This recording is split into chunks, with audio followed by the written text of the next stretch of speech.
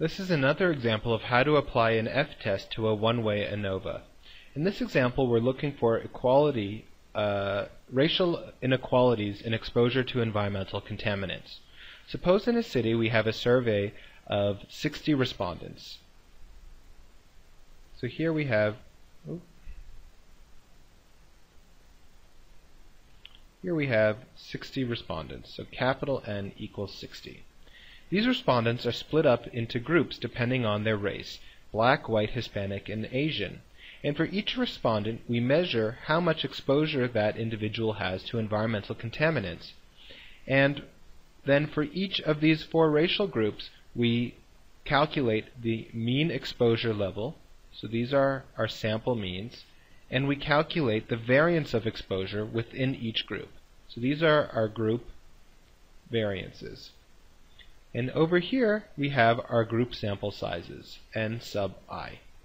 So this is all the information that we actually need to conduct our ANOVA test.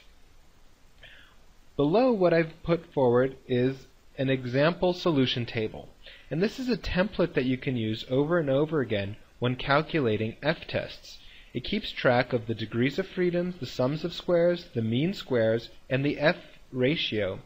And it tells you everything that you're going to need to calculate and how you're going to use those calculations to come up with your f value. So let's begin by filling out this table. First of all, we're going to need to calculate the between uh, the between group sum of squares. And this is the formula for doing that. The formula depends on the total mean. We can calculate the total mean by just taking the weighted exposure means uh, sorry, by taking the group exposure means and weighting them by the uh, by the group sample sizes. So in other words, it's the sum of ni times x bar i all over capital N. And in this case, I know that the total mean equals 20. So in order to calculate this, we're going to substitute the total mean here as 20.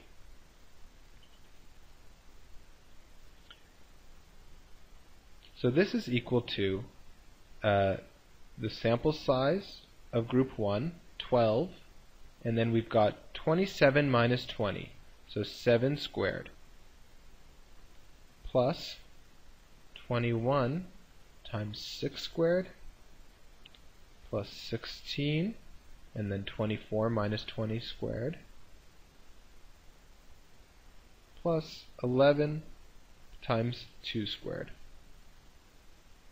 and this is equal to 1644. Next we're going to calculate the within group sum of squares.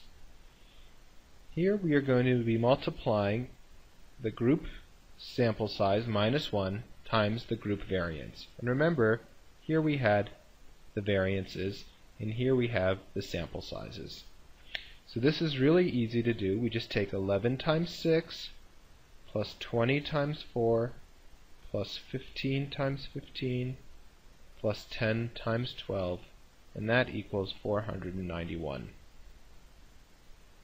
So let's fill in what we know so far. Let me make this table a little bit neater.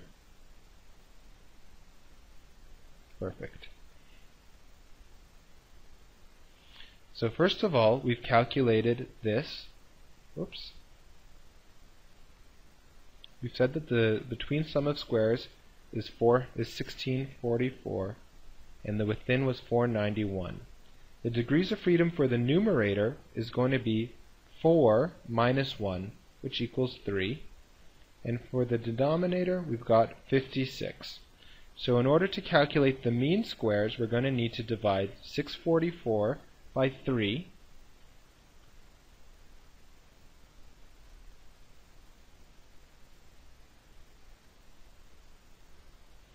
And to calculate this, we're going to divide 491 by 56. And let me just quickly calculate those. 1644 divided by 3 is 548.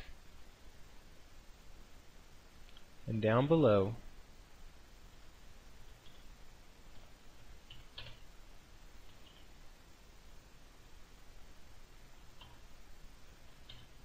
we've got 8.8.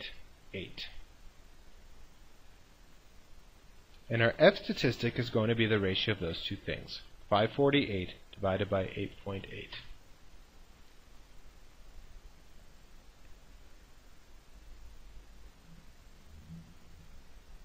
And that equals 62.3.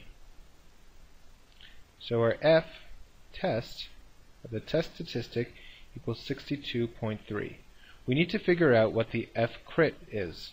And in this case, we're going to go, we're going to use the F table, go across to column 3 because we have 3 degrees of freedom on top, and down to 56 because we've got 56 degrees of freedom in the denominator.